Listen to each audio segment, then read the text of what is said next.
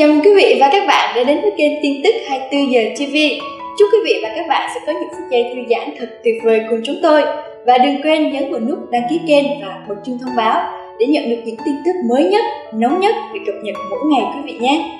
Ngay bây giờ mời quý vị và các bạn cùng đến với tin tức về tin tức showbiz nổi bật nhất trong ngày. Đông Nhi hé lộ điều bất ngờ trước đám cưới với cậu ấm của đại gia đình ngành nhựa. Nữ ca sĩ tiết lộ nhiều bí mật đám cưới với MC Nguyên Khang trong hậu trường. Mới đây, MC Nguyên Khang và Đông Nhi có dịp gặp gỡ trong một sự kiện âm nhạc. Dù chỉ hơn tuần nữa diễn ra ngày trọng đại, nhưng nữ ca sĩ vẫn tất bật chạy show. Trong hậu trường, Nguyên Khang hỏi thăm Đông Nhi chuẩn bị việc lễ cưới.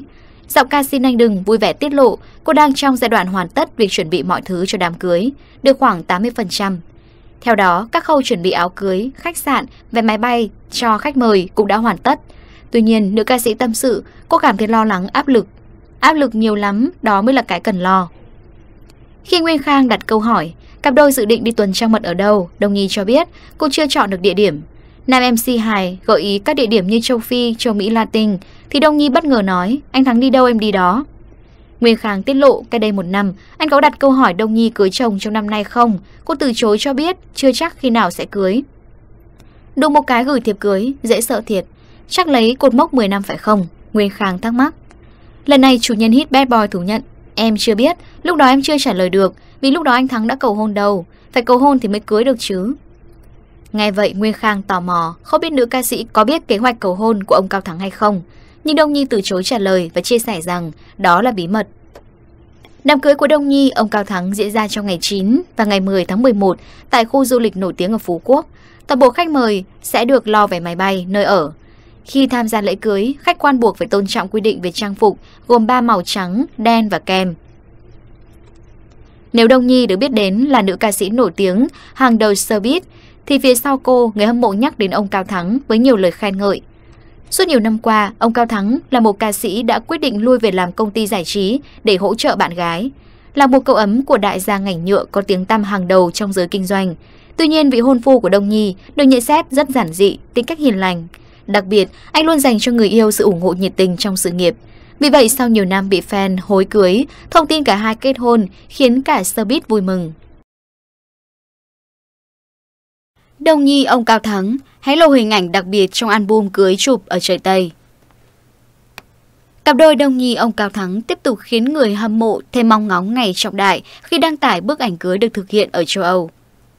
Mới đây nhất để chuẩn bị ngày cưới cận kề, Đông Nhi ông Cao Thắng vừa hé lộ thêm khoảnh khắc đầy tình cảm trong album ảnh cưới được thực hiện tại châu Âu. Trong hình ảnh được đăng tải, cả hai cùng nhau khiêu vũ với chia sẻ đầy hài hước. Thích giày đầm từ bé đến già nhà. Ngay khi vừa đăng tải, hình ảnh đáng yêu của cả hai nhanh chóng nhận được sự chú ý từ cộng đồng mạng. Theo đó tất cả mọi người vô cùng nôn nóng, chờ đợi chứng kiến thời khắc cặp đôi về chung một nhà. Trước đó vài ngày, Đông Nhi cũng đăng tải loạt ảnh cưới đầy ngôn tình với dòng tâm sự. Đơn giản là tình yêu. Theo đó, trong mỗi bức ảnh đều đính kèm những lời nhắn xúc động từ nữ ca sĩ khi nói về câu chuyện tình yêu và ông Cao Thắng, người đàn ông ở bên cô suốt cả một thời thanh xuân. Mười năm yêu nhau, đã đến lúc tôi nên trở thành vợ của anh ấy. Người ta bảo tôi may mắn khi yêu trai đẹp. Tôi còn thấy mình may mắn hơn vì anh ấy là một trai đẹp tuyệt vời. Đôi khi tình yêu vẫn thế, yêu nhau chỉ vì yêu thôi. Nữ ca sĩ Đồng Nhi đăng tải loạt ảnh cưới đầy ngôn tình với dòng tâm sự. Thông tin về đám cưới của cặp đôi có một số những yêu cầu cho khách mời như trang phục màu đen, trắng hoặc kem. Chỉ có những vị khách có tên trong danh sách mới có thể vào bên trong resort. Thời gian diễn ra hôn lễ được tiết lộ đầy đủ như sau. 16 giờ chiều ngày 9 tháng 11 sẽ bắt đầu đón khách, 17 giờ 30 bắt đầu tổ chức lễ kết hôn. 16 giờ bước vào phần tiệc chính ăn uống.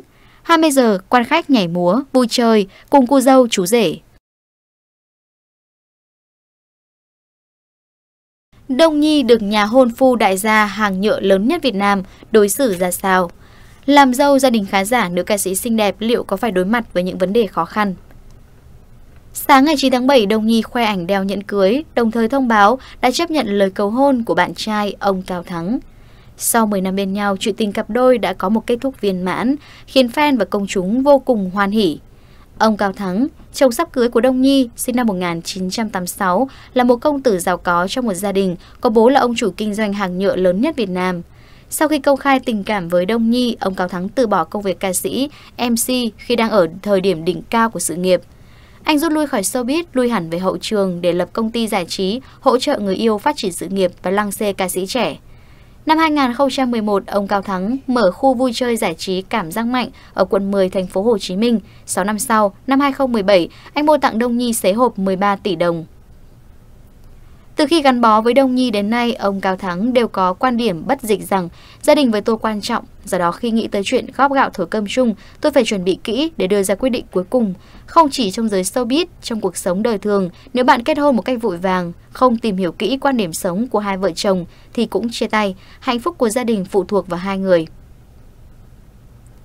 Quãng thời gian 10 năm tìm hiểu để đi tới quyết định cho thấy ông Cao Thắng và Đông Nhi đã chăm chút vun vén xây dựng mối quan hệ với gia đình hai bên ra sao. Dù hiếm khi trực tiếp chia sẻ ảnh gia đình, người thân lên mạng xã hội, nhưng qua một số hình chụp chung, khán giả thấy hai bên coi Đông Nhi, ông Cao Thắng là con cháu trong nhà từ lâu. Đặc biệt, Đông Nhi rất được lòng bố mẹ, họ hàng của ông Cao Thắng. Dù là nghệ sĩ hoạt động showbiz, nhiều thị phi, Đông Nhi vẫn được bố mẹ chồng tương lai ủng hộ hết mình. Còn nhớ năm 2015 khi Đông Nhi tham gia cuộc thi The Remix, Hòa âm ánh sáng, bố mẹ ông Cao Thắng trực tiếp đến cổ vũ cho cô. Là đại gia, hàng nhựa lớn nhất Việt Nam, cha mẹ ông Cao Thắng hiếm khi xuất hiện trước truyền thông. Thế nên việc hai người nổi tiếng có mặt ở hàng ghế khán giả, đa phần là người trẻ từ rất sớm để cổ vũ Đông Nhi, cho thấy nữ ca sĩ chiếm được tình cảm của gia đình hôn phu tương lai ra sao. Ngoài ra em gái ông Cao Thắng là ông Thoại Liên, từ lâu trở thành bạn thân thiết của Đông Nhi. Hai người thường xuyên hẹn hò đi ăn, du lịch, chụp ảnh chung rất tình cảm. Ông Thoại Liên còn dành nhiều mỹ từ khen ngợi bạn gái của anh trai, liên tục động viên, ủng hộ Đông Nhi mỗi lần có sản phẩm mới hay show ca nhạc cá nhân. Bên cạnh đó, trong các chuyến sang nước ngoài thăm họ hàng người thân Đông Nhi, ông Cao Thắng luôn sánh vai bên nhau. Ngay cả ở tiệc gia đình, hai người cũng chẳng ngại ngần dành cho nhau cử chỉ quan tâm, sát cánh ngọt ngào. Việc Đông Nhi thoải mái bộc lộ tính cách, sự tình tứ bên ông Cao Thắng trước gia đình của anh cho thấy hai người được ủng hộ, tin tưởng mối quan hệ ra sao. Xin chân thành cảm ơn quý vị và các bạn đã quan tâm theo dõi video. Nếu thấy hay thì hãy like, share và đừng quên nhấn vào nút đăng ký kênh ở góc bên phải màn hình để ủng hộ kênh và nhận được những tin tức mới nhất, thú vị nhất được cập nhật mỗi ngày quý vị nhé.